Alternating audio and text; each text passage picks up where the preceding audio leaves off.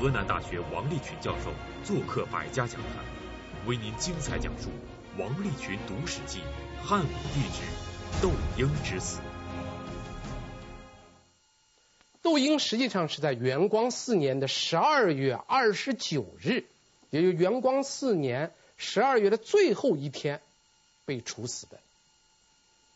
那么窦婴之死啊，是武帝初年非常重大的，因为汉武帝初年第一个被杀的宰相就是窦婴。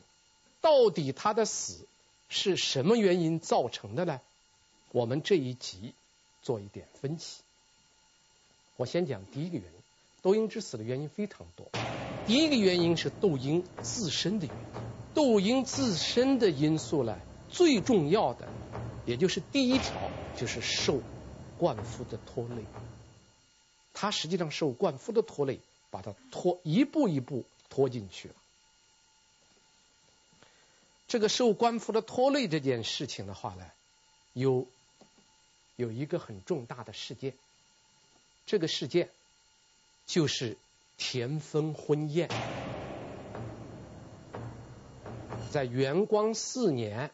出现了这个，就是王太后下诏，叫这个田芬举行一个盛大的婚宴。这个婚宴呢，要求是所有在京城的诸侯、大臣都要去参加。这样一来的话，他窦婴就要去参加这个田芬的婚宴。窦婴去的时候呢，他就想拉着灌夫一块儿去。本来这个灌夫不愿意去，结果他找到灌夫家，动员灌夫去。灌夫坚决不去。灌夫说了一个理由，而且这个理由说的很有道理。他说：“我已经多次因为这个喝酒啊得罪了这个田芬了。现在田芬这个婚宴，这个酒无论如何我不能去喝。”窦婴说：“你必须得去。你们俩的关系不是已经讲和了吗？没有事情了吗？为什么不去了？就这么死说活说。”死拉硬拽，把冠夫给拉过去了。根据《史记魏晋武安侯列传》的记载，冠夫被窦婴拉去参加田汾婚宴后，因为婚宴上的三件事情，使他内心憋了三把火。于是，冠夫就在婚宴上借着酒劲儿，闹出了一个惊天大乱，牵出了一连串的悲剧。那么，在田汾婚宴上，冠夫内心憋了哪三把火？他又闹出了什么样的事情呢？这个事情呢，还是从敬酒开始的。因为在这个婚宴上，这个宾客之间要相互敬酒。首先敬酒的当然是新郎官田芬呐。田芬一敬酒，就出现了大家非常熟悉的一个词，叫避席。什么叫避席呢？避席是一种表示对敬酒人很尊敬的一种礼法。避席就是指被敬酒的人起身离开自己的座位，那个席就是你那个座位，避席就是离开你的座位，这就叫避席。所以田汾敬酒，所有的宾客都避席，这个很容易理解。田汾是太后的弟弟，是皇帝的舅舅。当朝的宰相，红的发紫的大红人，大家来喝酒都是冲着田汾来的。再加上他是新郎官，那么所有人避席是很自然的。等到窦婴敬酒的时候就不一样了，只有那些和窦婴有过交往的老人避席，另一半人不避席。这个不避席还有一个称呼叫西席。什么叫西席呢？避席是离开座位西席是没有离开座位但是欠了欠身。你想想，臀部放在脚后跟上坐，如果你把你的身子稍微欠一欠，那是不是就形同了一个跪的姿势啊？这就叫西席。这个呢，显然对主对这个敬酒的人呐不太尊重。这个也很好理解，因为窦婴已经是个实世的诸侯啊，很多人觉得这个这个人已经没有不得势了，很多人就不太把他当回事儿，所以在窦婴敬酒的时候，有一半人没避席，这让灌夫很看不惯。灌夫心里就憋下来了第一把火。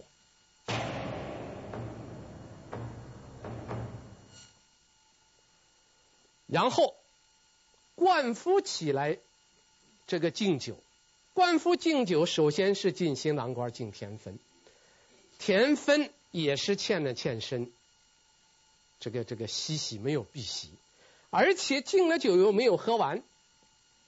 大家知道敬酒的时候一饮而尽呐，这叫感情深，一口闷，是吧？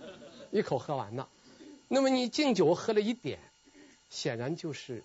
不太客气，这灌夫心里就憋了第二把火。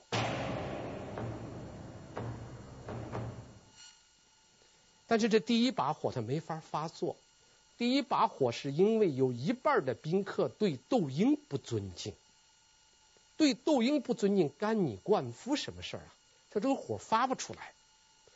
等到他敬酒的时候，田芬对他很不礼貌，他又有一把火，这个火也发不出来，这叫什么呢？那个叫发不出，这个叫不敢发。你这个时候你要再发作，你不是找死吗？不敢发。结果他敬酒敬到啊，他一个本家兄弟，也就是敬到冠贤的面前的时候，冠贤并没有在意，刚好和另外的一个著名的将军，这个人叫程不识。程不识，程不识。这个时候的职务啊，是长乐宫的卫尉。长乐宫是太后的寝宫，卫尉是长乐宫的警卫队长。他两个人正在咬着耳朵小声说话，没有看见冠夫。冠夫这就第三把火来了。这三把火，前两把火，一个是不能发，一个是不敢发。到这个时候，三把火是一块发。他逮住冠贤，因为他他两个是本家兄弟，一个冠夫一冠贤，然后他就骂起来了。这个骂，这就是《史记》中间非常有名的一个故事，叫“十九骂作”。所谓的“十九骂作”，就是敬酒的时候骂起来了。当然，这个话骂的还。从司马迁的记载来看，还不算很难听。他说：“你这个冠贤平时说起来，程不识都是不值一文钱。现在我来敬酒，你竟然给程不识两个人咬着耳朵说话，就像那小丫头一样，叽叽咕咕骂了一通。他这一通一骂呢，当然冠夫的这个辈分比较高，冠贤呢没有吭气儿，程不识也没有吭气儿。”这两个人呢，确实没有避席，也自知理亏，也就没有反应。但是有一个人做出反应了，反应之快，反应之犀利，令人震惊。这个人就是田汾。田汾做了个什么反应呢？田汾就把这个话茬接过去了。其实本来骂的人是骂的冠贤。当然，冠夫这个骂也是指桑骂槐，指着冠贤骂田汾的。而这个时候的冠贤没有搭话，田汾把这个话接过去了。因为冠贤没有文章可做，所以田汾这个话就把从冠贤那跳过去，直接跳到程不识那。他就说：“说程不识和李广是东宫和西宫的卫尉。”也就是皇帝的寝宫和太后寝宫的警卫队长，你今天当众侮辱了程不识将军，你把李广将军置于何地啊？这个话是非常恶毒的。他跳过冠贤，他拈出来一个程不识，又从程不识又挂出来一个李广，而程不识跟李广这两个人是不能够随便骂的。这两个人有一个特殊身份，李广是皇帝寝宫的卫队长，程不识是太后寝宫的卫队长。中国有一句古话，叫打狗也要看主人的面。这两个人你能随便问吗？他是谁的人呢？一个是皇帝的卫队长，一个是太后的卫队长。所以田芬这个人呐，反应非常快，而且田芬这个人非常阴险毒辣，他这个话说的很很凶很厉害。如果光骂冠贤，这个他就不能上纲上线了。这个地方从冠贤跳过来跳到程不是，又程不是撵出来李广，一下子把问题上纲上线了。冠夫傻，本来这个时候冠夫应该封口了，不能再说了。冠夫这个时候喝了点酒，仗着点酒劲儿，再加上他肚里的三把火，他就冒出来一句话。说你今天就是杀了我的头，我也不知道这世界上还有一个李广，还有一个程不识。这个话一出口就说过了，这个话一说，等于是给田芬两个人直接交了火。本来来喝酒的宾客是来喝喜酒的，一看这个架势，所有的宾客都知道今天这事儿麻烦，这个酒比鸿门宴还厉害。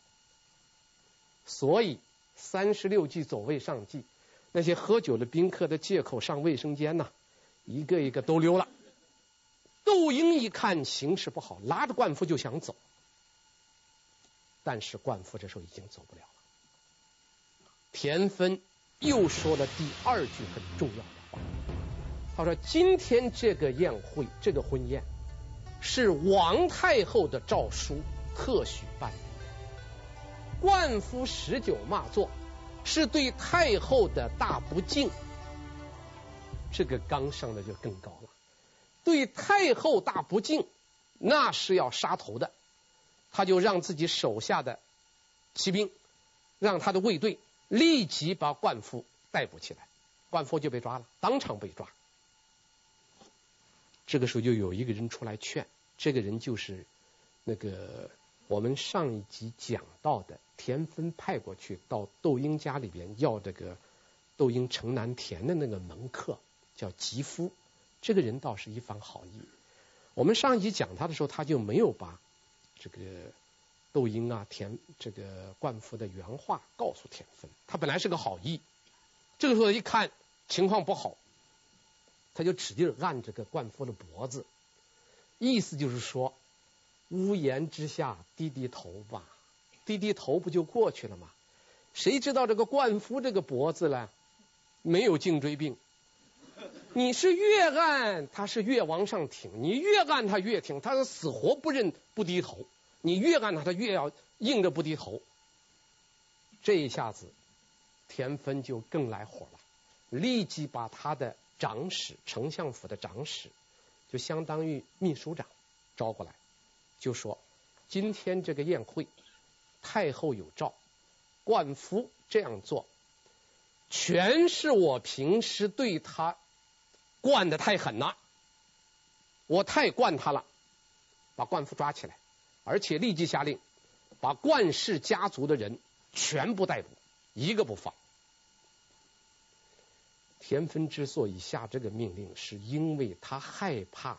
冠夫家的人有一个漏网的人，他就可能按动那个核武器的那个按钮，把那个核武器给引爆了。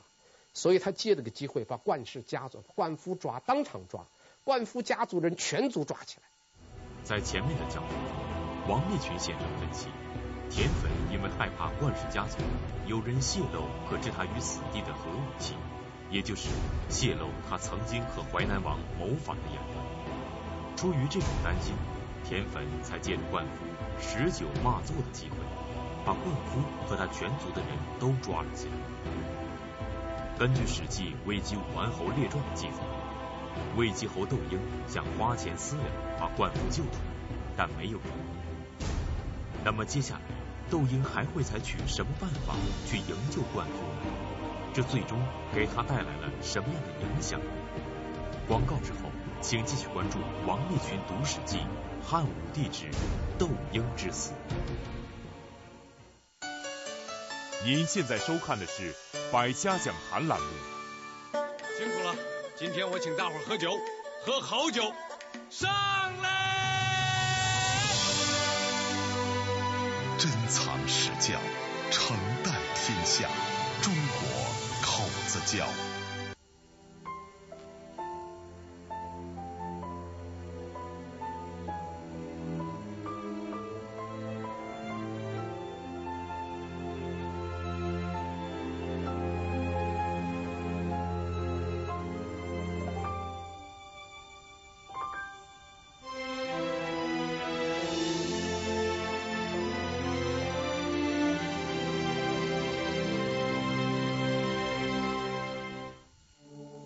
三峡原生态，水美、地灵、人杰，浓浓三峡情，地地稻花香。澳优幼儿奶粉，澳大利亚原装进口，三项独特配方，宝宝能力多。澳大利亚乳品局授权，澳洲澳优。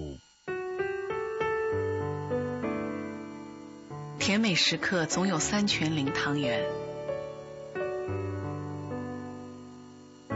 三全零汤圆味美香甜甜。千秋酒韵，本色醇香，中国驰名商标衡水老白干儿。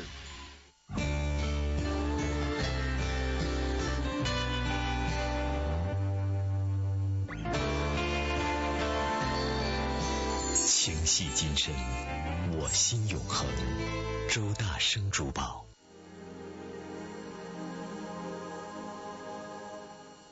一统天下酒业提示您接下来继续收看《百家讲坛》。在整个明王兴兴六十年的讲述中，始终贯穿着这样一个不可或缺的人物。他的出现延缓了大明王朝衰亡的脚步，他的千古奇冤导致了大明王朝最后的崩溃。他就是明朝一代名将袁崇焕。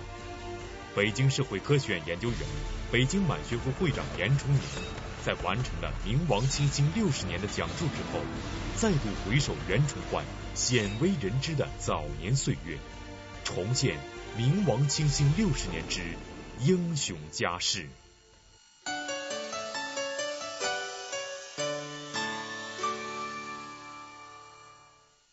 田汾在自己的婚宴上，借口灌夫对太后大不敬，把灌夫和他的全族人都抓了起来。那么魏继侯窦婴采取了什么办法去营救灌夫？窦婴最后的被杀和这件事情有关系吗？这件事情发生以后，这个事情就非常严重了。灌夫可以说是危在旦夕啊。窦婴就挺身而出去营救，去救这个灌夫。他背着他家里的人给皇帝上书，说这冠夫这个罪是喝多了酒，说酒后失言呐，不值得杀。而史书记载呢，叫上染之，就是皇上同意这个窦婴的看法。我们可以知道，在这件事上，汉武帝是同情冠夫给窦婴，而且赐魏姬时，还招待魏继侯吃顿饭。怎么处理呢？汉武帝提出一个解决方案，方案叫这个东朝听变制。东朝就是东宫，就说这件事情的处理啊，到太后的寝宫来一个当众辩论。这个主意是非常不好的，我们下面会讲到啊，说到东宫去辩论，然后把文武百官都召集到王太后的寝宫里边来商议这个事情。两个人到那以后，窦婴首先说：“灌夫是立有大功的人，吴楚七国之乱，他立有大功，他这不过是个小过错，你不能因为一个小过错就杀了一个立有大功的人。”然后呢，田芬就死咬着灌夫，在颍阴带是个豪强，这个豪强按照国家的政策是必须要除掉。两个人就顶上了，顶上了以后。这个窦婴一看没有办法解决，窦婴就开始揭田汾的短，但是窦婴在截短的时候，窦婴没有引爆那个原子弹，没有提这件事情。而田芬的话呢，说话就非常恶了。他说：“我无非就是爱好土地、金银、女人、房子，我有什么大错？我不像窦婴、像灌夫，他们整天在家里边，不是看天文，就是看地理，总想着皇上跟太后有点事儿，他们好立点功。”他这个意思暗含的意思就是说，灌夫。和窦婴是策划与密室、点火与基层，这两个人想谋反。这个话说的是非常恶毒的。他自己谋反他不说，他把这个谋反罪加在了窦婴的头上。在这种情况下，皇帝一看这两个人争来争去啊，没有个结果，就让让大臣们发表意见。这个大臣们只有一个人说话，这个人就是御史大夫韩安国。韩国怎么说呢？韩国说灌夫这个人立有大功，酒后失言，像这种人没有大错，不能杀。魏姬侯说的对。再一个呢，田芬丞相说他的家族在颍川，在这个颍颍川这一带呢为非作歹。那么他这属于什么情况呢？他属于那个树枝，树枝比树干粗，小腿比大腿粗。要不锯掉，将来会有麻烦。所以丞相说的也对。最后一句话，为民主裁之，还是希望圣明的君主去裁决吧。汉武帝搞这一个东朝听变，他其实这个事情本来他可以处理，他为了不得罪这个皇太后啊，他其实想让朝臣们支持窦婴，支持灌服，然后用朝臣之嘴以封太后之口。他是这样想的，他没有想到韩国来一个，呃，魏姬侯也对，武王侯也对，你来裁决，等于说是汉武帝把球踢给大臣，韩国回了个球又踢给汉武帝。汉武帝想利用朝臣，但是做大臣的有几个是傻瓜？谁愿意被汉武帝当个枪头来利用来对付太后啊？谁也不想做这个枪头啊，所以。汉武帝这个东朝听变，最后不了了之。虽然最后这个事情不了了之，但是对于这个窦婴给田芬来说，他们两个的关系，本来他们两个没有正面冲突，他们两个在东朝听变的时候，他们两个把脸皮彻底抓破了。中国人是很讲面子的。两个人的关系不好，只要还有一层脸皮不抓破，这还有一个和解的机会。一旦两个人彻底把脸皮抓破，这个就一点和解的机会没有了。结果这个东朝听变，就让武王侯田芬和魏姬侯窦婴两个人的关系彻底的公开的决裂了。换句话说，田芬的婚宴。和东朝听变这两件事情，导致窦婴卷入了这场矛盾，这是一个原因。他受灌夫的拖累。这个窦婴啊，他自己的第二个过错就是估计不足，因为他当时从那个田芬家里回来，他要向皇上上书的时候，他家里人不让他上书，他的夫人阻拦他说。灌夫得罪的是太后之家，这谁能救得了？不让他上书。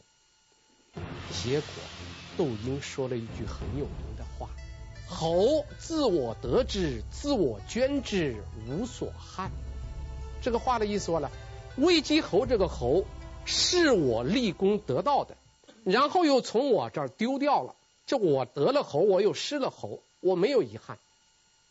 从这个话我们可以判断出来。窦婴估计这件事情最坏的结果是什么？把猴给免了，对吧？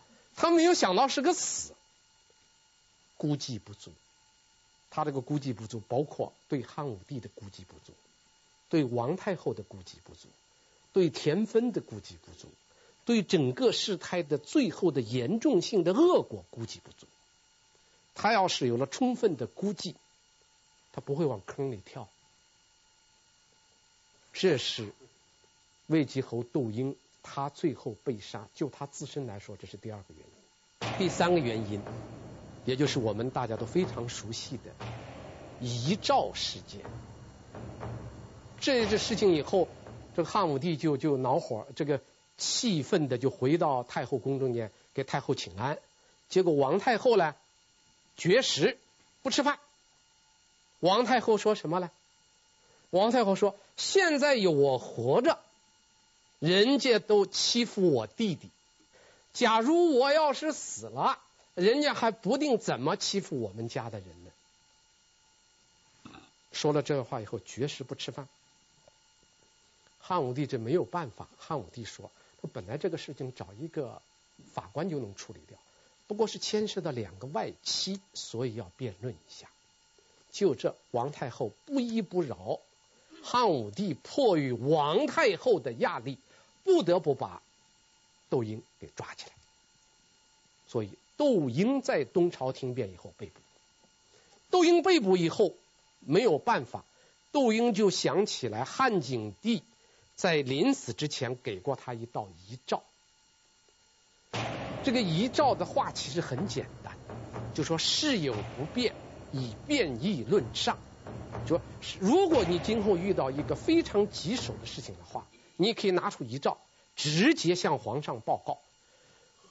这个遗诏并没有什么特殊的含义，就是说你可以直接向皇上报告事情。当你不能向皇上报告事情了，拿出遗诏，你可以向皇上报告。在窦婴被抓起来以后，窦婴就让他的侄子把这个有遗诏的事情报告了汉武帝。汉武帝一听说窦婴家里边有景帝的遗诏，这是大事情，立即派人去查，查那个皇宫中间的存档，一查没有，这下子麻烦了。结果这个诏书呢，只有窦婴家里有，还是窦婴家的家臣，就是他家的总管盖了个章，皇宫中间没有存档，没有副本。好。这样一来，窦婴不但这个遗诏没有救了他的命，还落了一个伪造遗诏罪。根据《史记魏晋武安侯列传》的记载，窦婴拿出的景帝遗诏在皇宫中是没有存档的。那么，这个遗诏到底是真是假？如果是真遗诏，皇宫中不可能不存档；如果是假遗诏，窦婴为什么要在自己被捕入狱后拿出来？对于遗诏事件，王立群先生是怎样分析的呢？广告之后，请继续关注王立群读史记《汉武帝之窦婴之死》。您现在收看的是《百家讲坛》栏目。伤者如水，淡定自若，举手间气度彰显。一统天下，盛世中国，经典商务用酒。歌手的根本是声音，药的根本是疗效。京都念慈庵秘炼川贝枇杷膏，润肺化痰，止咳平喘。我的声音，我的念慈庵。宝宝优秀，妈妈成就。三鹿优佳奶粉特别添加益生元 DHA，独特智慧配方，让宝宝健康成长更优秀。三鹿优佳奶粉。刻苦的学习，投入的工作，快节奏的生活，可能导致眼睛干涩、酸胀、眼疲劳、点润结。润舒营养不干涩。妈，我们现在已经出发了。那你路上小心点啊。哎，好好，我们初二到家，初二到家。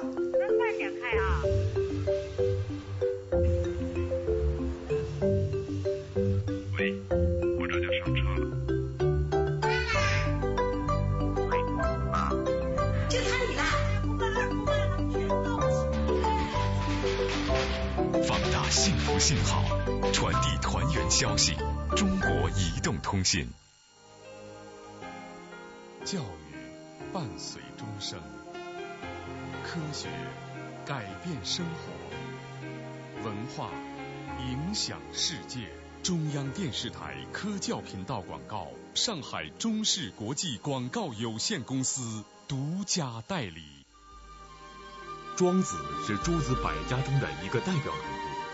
如果说孔子是儒家的代表，庄子就是道家的化身。庄子看破名利，看破生死，善用寓言故事讽刺挖苦追名逐利的小人。但庄子的思想对我们现代人会有什么启示呢？敬请关注北京师范大学于丹教授讲于丹庄子心得。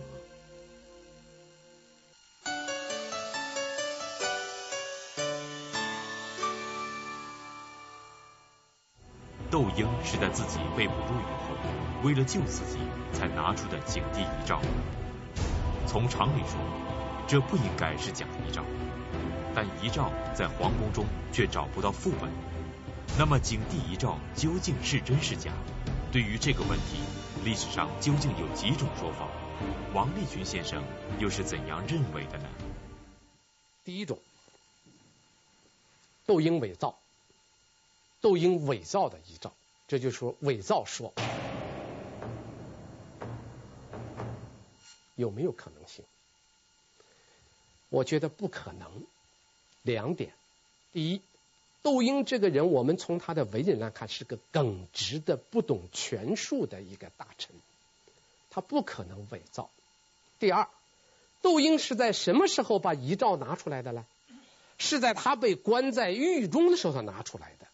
他想用遗诏救自己的命，如果这个时候他拿出来一个伪诏，不但救不了他的命，而且是罪上加罪，所以不可能伪造说不能成立。第二种说法，没有存档。汉景帝有遗诏，没有存档，有没有可能性？没有可能性。我们所有的说法都是按逻辑推理的说，没有可能性。历来皇帝的诏书就是两份，有正本，有副本，还要登记造册，不可能不存档。所以不存档说不能成立。第三种说法，毁诏说，把诏书给毁了。毁诏呢，又分为几种情况。说王太后给田丰毁了，这是一说。王太后给田丰毁诏，可能性也不大。为什么呢？这个遗诏的本身并没有任何威胁力呀。就是说，你可以向皇上报告，这个遗诏没有任何的威力。就是他没有杀伤力的一个遗诏，所以没有必要毁掉它。第二，毁诏谈何容易呀？王太后和田丰再有权势，但是皇宫中间诏书的管理有一整套严密的制度，毁诏是很难的。另一个说法，武帝这个武帝毁诏，武帝毁诏也不可能啊。第一，没有必要。这个诏书丝毫危及不到汉武帝，汉武帝凭什么要毁这个诏书呢？没有必要啊，这是第一。第二，汉武帝本身是同情窦婴的，那你把诏书毁了，等于给窦婴加了一个伪造诏书罪，有这种可能性吗？没有。有一个清代的学者叫沈清寒，沈清寒又提出来一种可能性。那就是什么呢？主管档案的人害怕田丰，他向皇帝打了个假报告。皇帝叫他查，他说没有存档。这种可能性有没有呢？没有根据，很难讲。那么遗诏事件我们应当怎么看？我觉得我们分析了遗诏事件所有的可能性。存在的几率都很小，但是我们所有的分析都是建立在逻辑推理的基础之上。比如说，汉景帝并不恼恨窦婴，他不可能给他个遗诏，然后故意不存档，让窦婴什么时候一拿出来，窦婴就得死。我们都是这样推理的，我们所有的分析都是逻辑推理的，但是历史。往往有非逻辑因素出现，就在我们上述所有的推理种种不可能中间，我们不知道是在哪一个环节中间出现了一个非逻辑因素，历史没有记载，我们今天不知道这一个环节的出现导致窦婴被杀。啊，所以这就是我对遗诏事件的这个看法。汉武帝迫于王太后的压力，一咬牙把窦婴给杀了。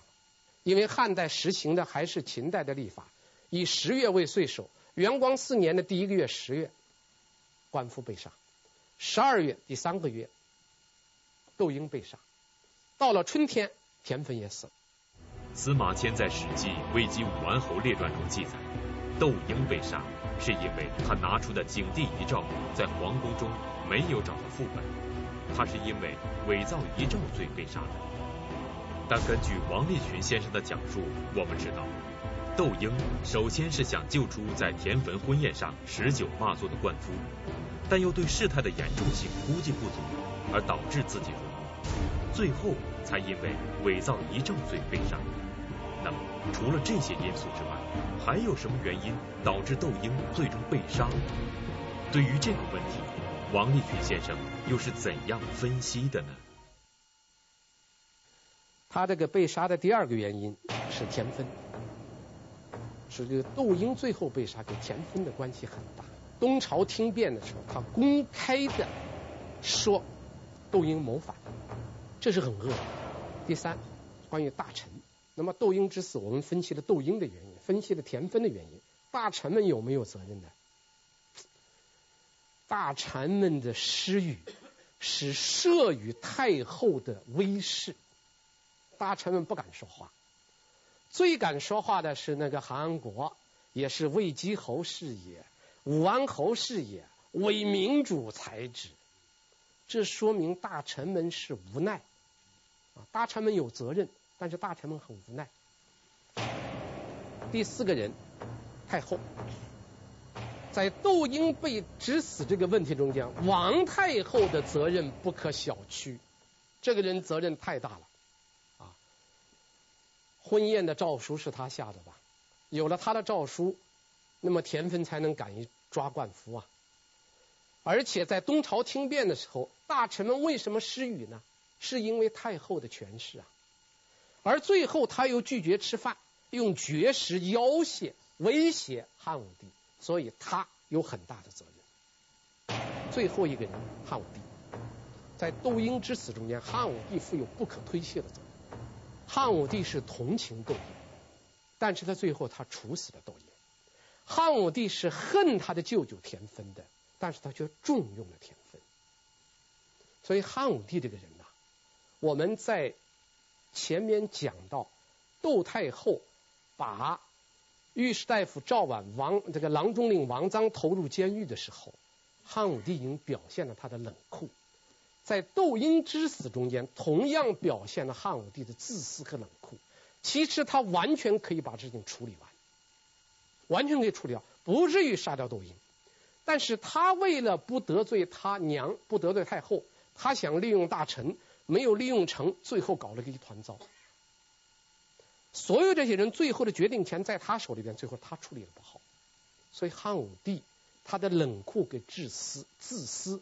也是导致窦婴最终被杀的重要原因。我们以上从五个方面分析了窦婴之死。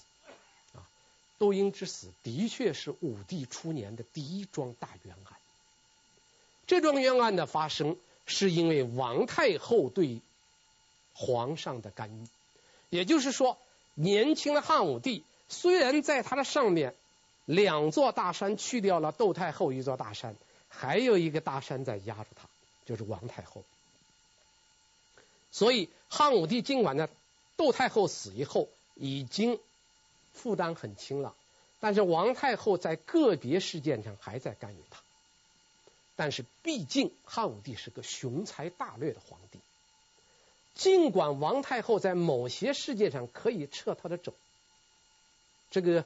给他施加一点影响，但是他不可能从根本上改变汉武帝。汉武帝注定要完成历史所赋予他的历史使命，他必然要有一连串的动作完成他称帝以后的事情。那么汉武帝在窦婴死以后，他的眼光又会投向哪里呢？请看下集《汉匈交兵》。谢谢大家。